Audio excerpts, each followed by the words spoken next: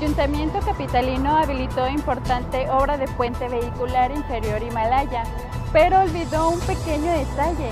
¿Cómo van a cruzar las personas? No hay personal de tránsito y los automovilistas carecen de empatía con el peatón. Recordemos que muchas personas laboran, estudian y trabajan en esta zona. Ya hay un anuncio, pero ¿hasta cuándo tendrán que arriesgar la vida?